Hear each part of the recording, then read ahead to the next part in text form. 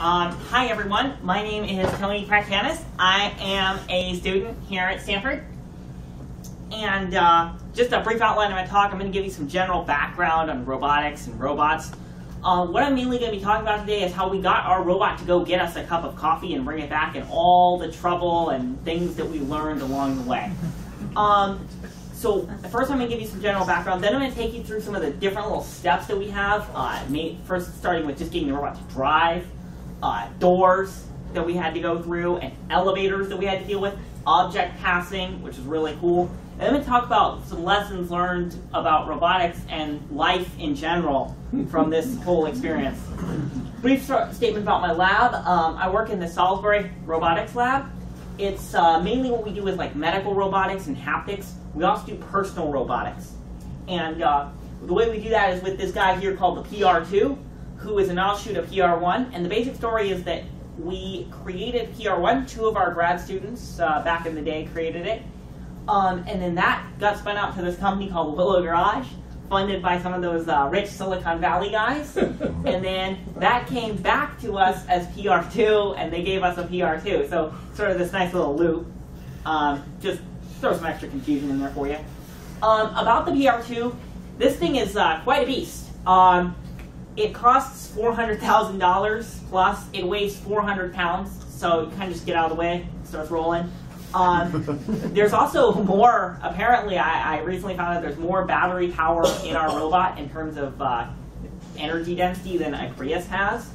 Um, and there's also this sort of kitchen sink of various sensors in the robot. There's laser scanners, color cameras, Kinect-like stuff.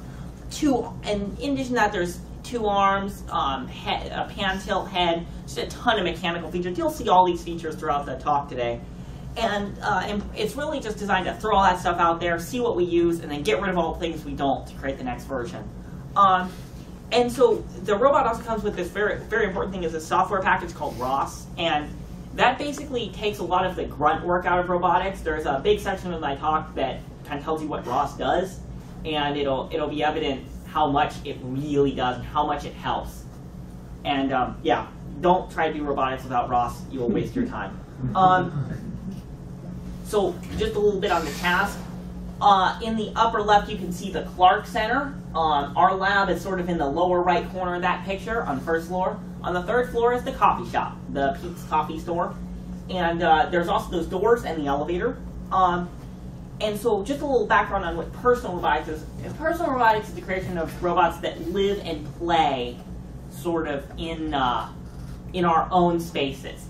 It's a very up close and personal thing, as evidenced by that. The ideal thing is like Rosie from the Jetsons, is what we what we really like to achieve. And um, it faces a lot of challenges that are not present in other forms of robotics. So, you know, a drone that's out flying above us doesn't really have to worry about like safety issues, doesn't have to worry about, you know, getting stuck on your door because you decided to change the lock, you know, those sort of things. And so there's an extremely diverse set of objectives and this really unpredictable, unstructured environment. And so my solution to the challenges is to use sort of your human intelligence to understand what the task the robot needs to accomplish is, and then develop a very simple, logical approach for the robot to do it. Um, and so this project is really a demonstration of that approach. Uh, just important qualifications, we're not, um, once I pushed the button to start the project, to start the robot, I did not allow myself to touch it. Um, the only interaction or to control it in any way. The only interaction was natural interaction with humans to purchase the coffee and also to hand it back at the end. Um, and also, we didn't allow any modification of the environment. You don't want to modify these environments because people people just don't want to like put stickers all over their home so the robot can work, and you kind of defeats the, the purpose of building a robot. Okay, so you know me talking is boring. So um, let's face it, I'm kind of boring. So let's um, start the video. Where are you video? Okay, so what we're going to start off with here is just a little navigation demo. So you can see the robot sort of driving through the building here. Um, there's a lot of junk around that's avoiding. That was a little loud. Um, and there's a person. And you can see the person sort of jumps in front of the robot. So the robot sort of stops and it, it veers off um, and goes around her. Um, and avoids her. There's a whole video on YouTube of this whole process that, you know, if you want to watch, you can. Now, yes, it worked. Okay, so how does it do that? How does it get through environments? How does it avoid people? Um, so there's two sensors that, so the first step is we have to make maps of the environment. We want really detailed, accurate maps of the environment. And the way we do that is, the first step is we use, we just drive the robot around manually and make a map. And there's two sensors that we use for both mapping and navigation. They're the little laser scanners, like this guy. Um, those give us really detailed analysis of the, uh, the surrounding environment. Thousands of points per second, uh, and high accuracy distance to obstacles. The other sensor is we have counters in the wheels of the robot that measure how far the robot has traveled. And so those are actually really accurate. So over like the course of like say a meter, those sensors are just as are really accurate. But there's air, and that air term builds up as you go. So what you do is you, you use the map, you use the laser data and this wheel data to filter together with this algorithm, and you make a map of the building. And then you sort of save that map to disk, and then whenever you use the robot, weeks, hours, months later, you dump that map in. And um, you do that, so then once you have that map in, you can then use a similar algorithm to then figure out where you are on that map at all times, have really accurate knowledge of uh, where the uh, robot is at all times. Um, and once you have accurate knowledge of where the robot is, you can then sort of build this cost map grid of where all the obstacles are. And then you can run algorithms that are well known from the from video games of all things, and just well known in AI community in general, to just click and have the robot drive anywhere on that map. And there's sort of this dynamic uh, approach to updating the map, so when people jump in front of the robot, you add more obstacles to it. And so this is all really cool. Um, I wish I could take credit for this, but this stuff comes with the robot. Um, the problem was it's all 2D. So we decided to make it, I guess if you would, 2.5D. I took uh, I took this algorithm and I, I made it so you could have different maps linked together by sort of portals. Um, doors, elevators, that sort even just walls. the robot drives through these portals and it switches between the maps. Um, so that's really cool. But now, and so that's great. And now the robot can drive around. But, you know, it actually needs to do stuff once it gets to the goal.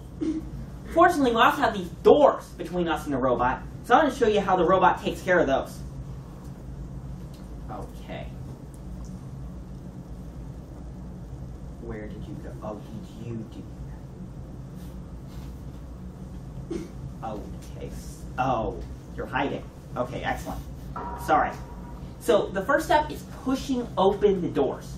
And so the robot's right now lining up. There's a door right there in front of it. It's lining up on the door, and then you'll see it spin around and blast through the door. uh, this process is called door blasting because it scared the heck out of the secretaries the first time I did it. Uh, you see it lining up again, and then bam.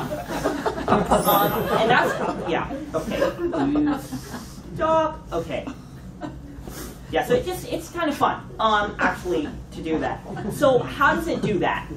So the issue here is one thing that you have to understand is these doors are transparent. They're designed to be see-through. You're not supposed to be able to see them.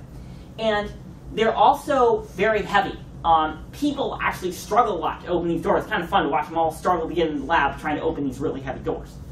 Um, there's a problem when handicapped people can't open them, but that's another story. So the PR2 uses mechanical approaches. So we use mechanical approaches to solve this.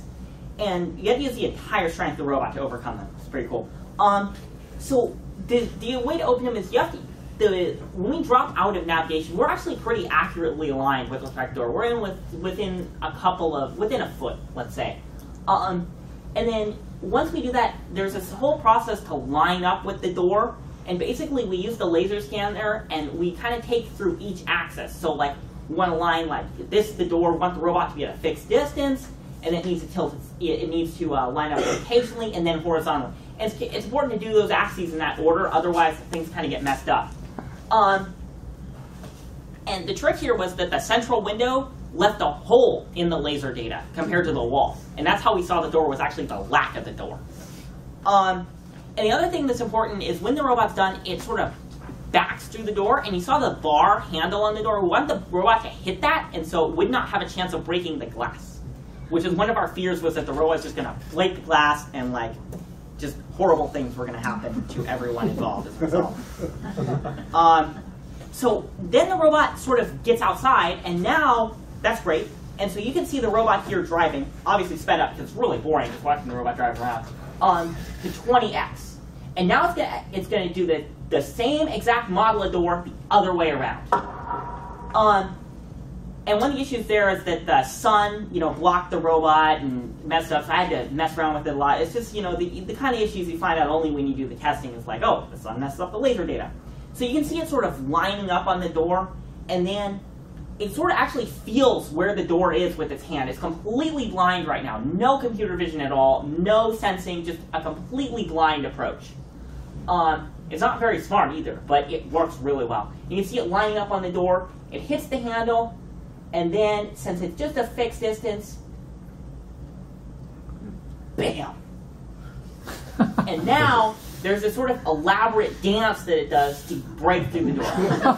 so you see wedging the door right there, full of throttle, and we are through the door. So that took quite a while to get working, but was well worth it. Okay. So. Um, so the um, asymmetry is that on the inside there are no handles. There are no handles, and yeah, there's no handles at all. There's nothing on the inside. There's just the door. And like you're, I'm actually glad that they they were transparent because I would have been screwed if they weren't. Um, so detecting the handles was also really hard because if you look at the handles, oh, yeah. I tried different vision-based approaches, but if you look at the handles up close, they're reflective. Yeah. yeah. Um, and so they ref- they create all these lines and edges from the reflective materials.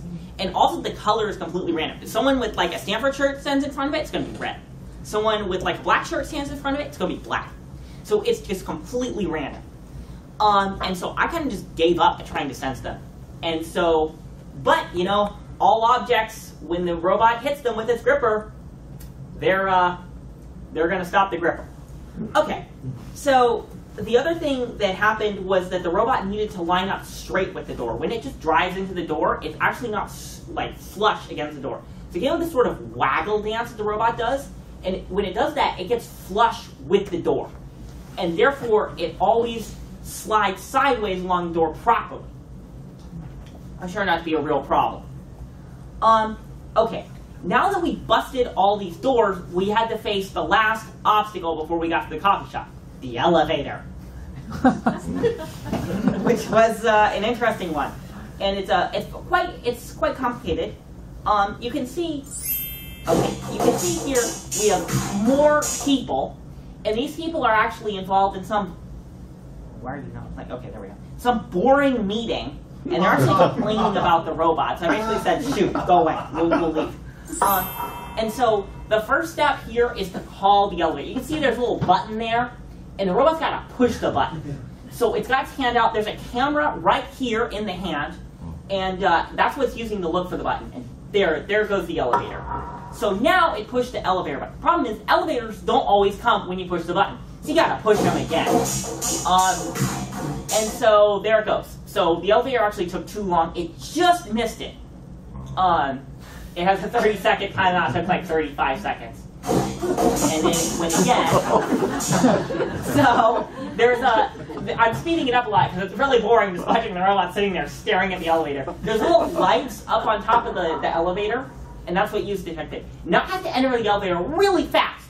Otherwise, the door will close before the robot can get in. You also see people are in the way. So one of the other things it does, if, if there's people in the elevator, it'll leave. Because we don't want, it's really scary riding the robot with the elevator.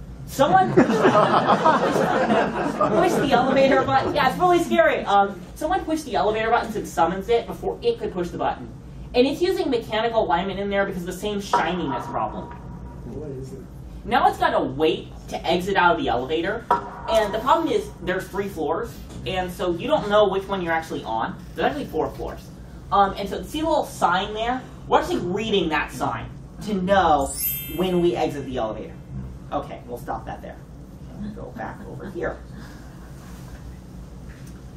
Okay, um, so you saw the overview, you know, push all these, you gotta do all this stuff.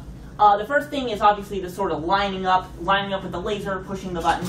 The key in all of these steps, waiting for the elevator, um, the key in all of these steps is to make sure that if the mission fails, if you fail to see the next step ha- happen, for example, the elevator fails to arrive or the door fails to open, you gotta try again. And you just keep trying again until you get what you want. Um, and so the robot just has an infinite loop until it, it gets what it wants. Um, and internally, you know, we got to push all those buttons. Um, internally, the key is alignment. We do the same mechanical alignment tricks we do to line up with the door. Just kind of push yourself into the right corner of the elevator. 'cause the elevator button's always to be in the same place with respect to the, the door, or with respect to the physical elevator. And so it's really easy, actually, once you get that alignment working, just to copy and paste it and get them all to work. Um, so exiting the elevator was also this problem with checking for the correct floor. In the original work that I published, I was actually looking for a little sign, and there's this whole vision algorithm to like extract the sign, and then you get like that, which is the little sign taken down to a three, I believe a 32 by 32 image or something. Um, and then we just did a comparison with all the saved pictures from like floor one, floor two, floor three.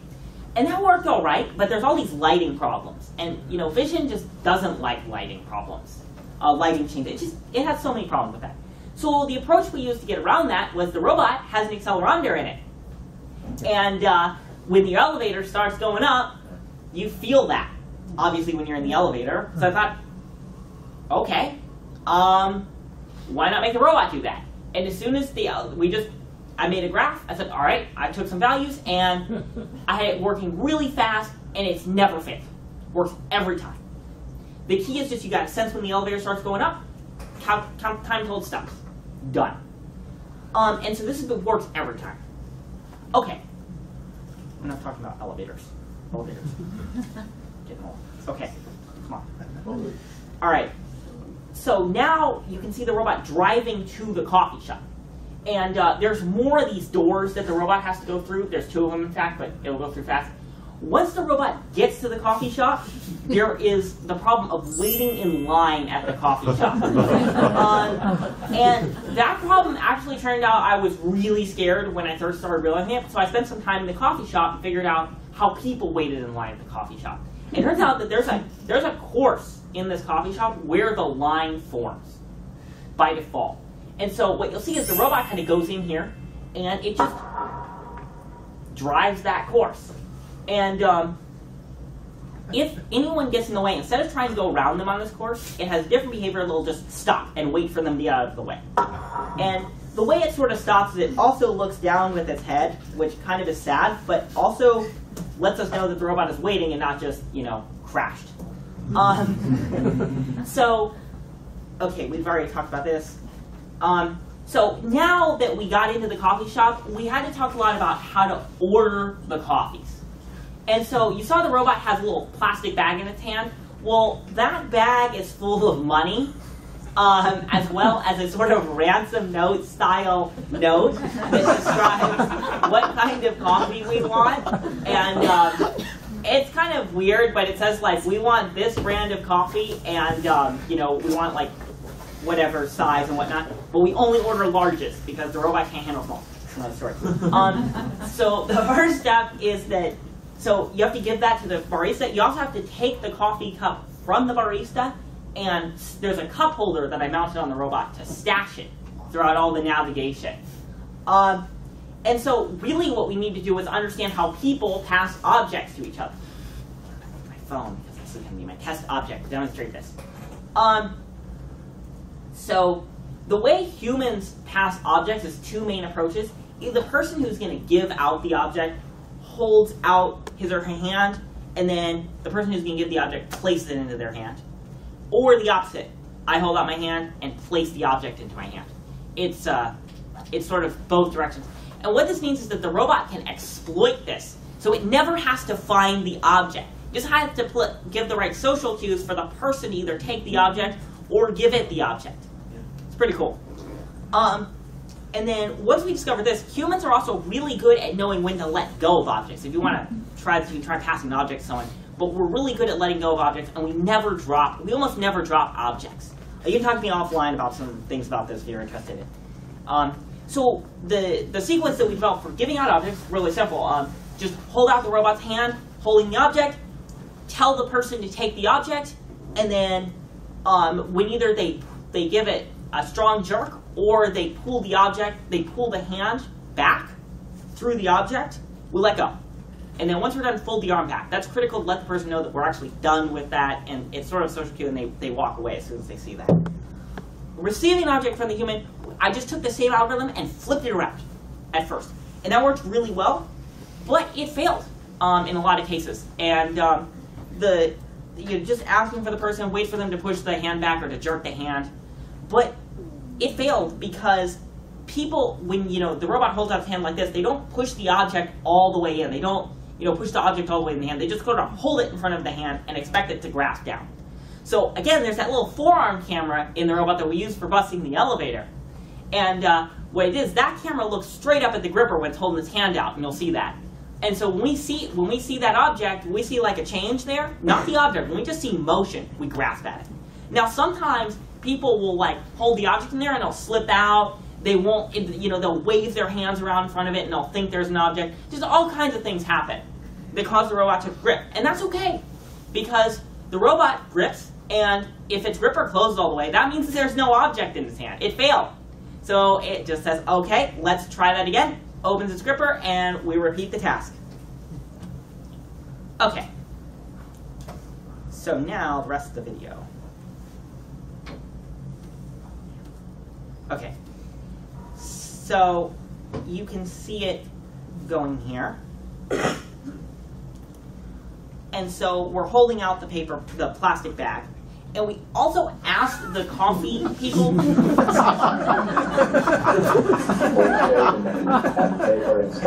They loved this, by the way. They uh, they were like super cooperative. I, I loved it. They gave us free coffee too. But then they realized we were like sucking tons of people into the coffee shop to see what was going on with the robot. And so it was kind of cool. So there you can see. Yeah. So there you can see taking the coffee cup away. And um, the coffee cup's in the plastic bag. We asked them to put it in the plastic bag, even though we didn't really need it, just so that if the robot, you know, if it spilled by accident, we didn't mess up the robot. Because I don't want to know how much trouble I would have gotten for that one. Um, so yeah, you can see it. And now, sort of the robot has to go through all the previous steps in reverse to get back to the lab. So I'm going to skip ahead because I think we're short on time and um, go back to maybe right here to the last. So that's, you know, the double door that it came through. There's the double door. Um, and so I tried to be artistic and have the robots like reflection in the door. I don't know how I did that. Um, so this is from the inside. It's kind of cool watching it slide its hand across and then bam, there you go. Uh, I've also, since this project, I've sped that up because it's really annoyingly slow. Um, it's, you don't really see how slow it is until you process. The other thing that's really cool, this is not me, this is just ROS being awesome. And you can see how tight it is in there between the people and the wall. But we got through anyway. And now we're done. And so now the advisor is sitting there. He's not on camera, but he's there. And so yeah, so at the end of this whole uh, Please take a call. at the end of this whole project, and so at the end of this whole project, I get to say that my whole summer project was getting my professor coffee.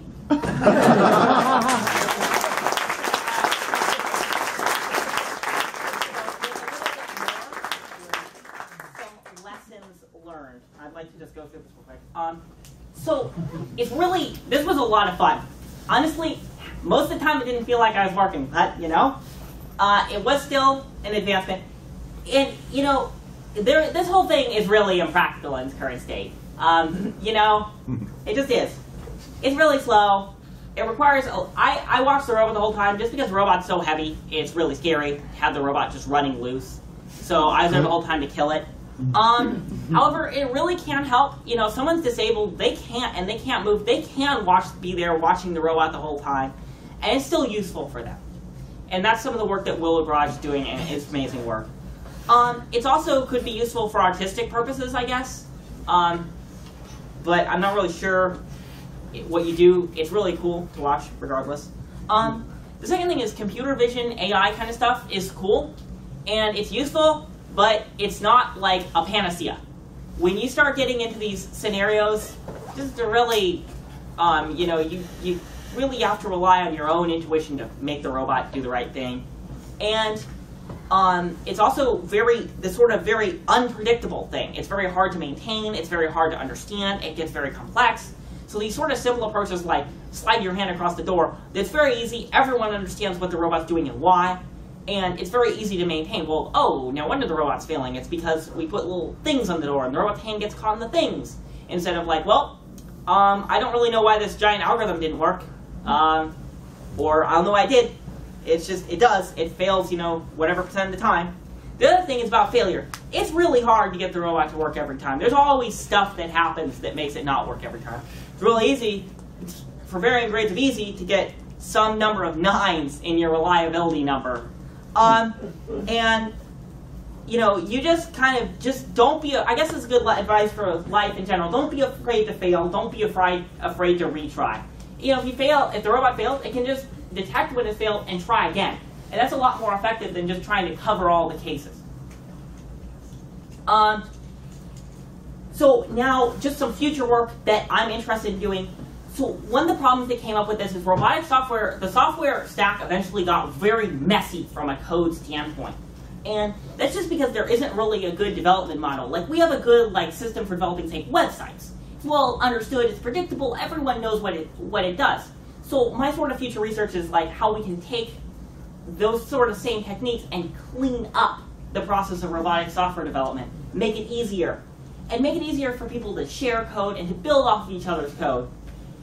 And it's really critical that we do the fast because it's obvious that we're going to write a lot of software. I mean, you saw like the simple task, we had the elevators, we had the doors, we had to write all these different programs for each one of them. And so it's just a lot of software. Um, and so I'm trying to develop a next generation approach to handling this problem by developing an easy use framework for specifying what the robot what the robotic software does, and that way we can automatically merge it all together. Okay. So questions. And um,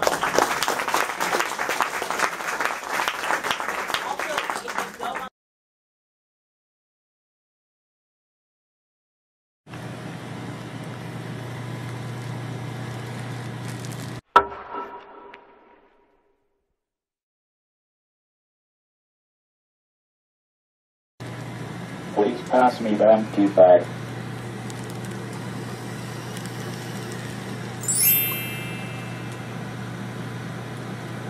Thank you.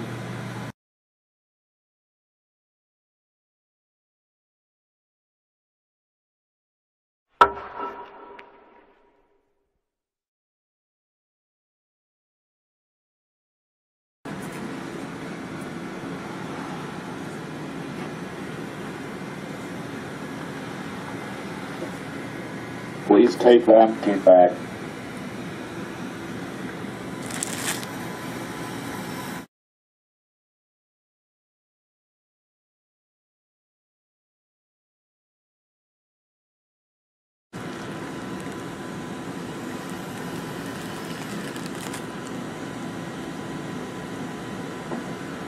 Thank you.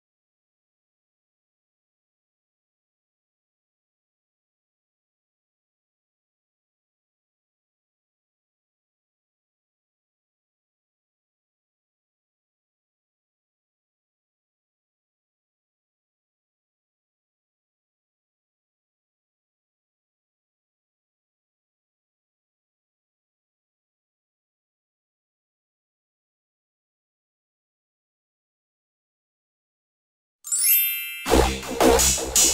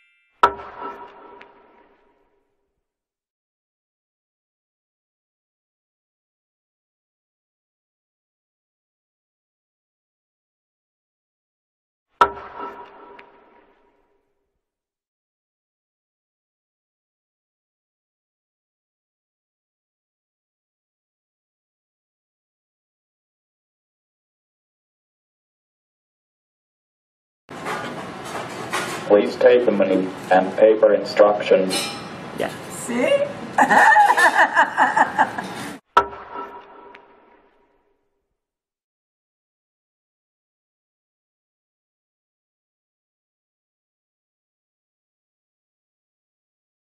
Thank you. You're welcome.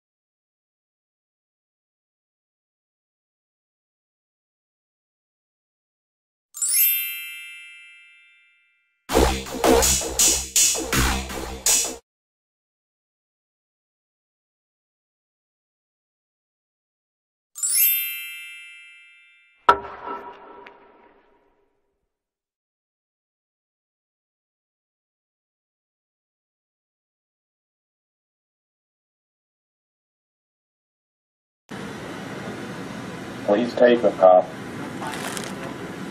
Thank you.